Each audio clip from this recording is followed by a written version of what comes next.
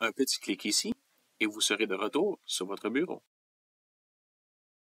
La touche Windows plus D et vous voilà de retour sur votre desktop. Trois doigts, un léger mouvement vers le bas. Voilà.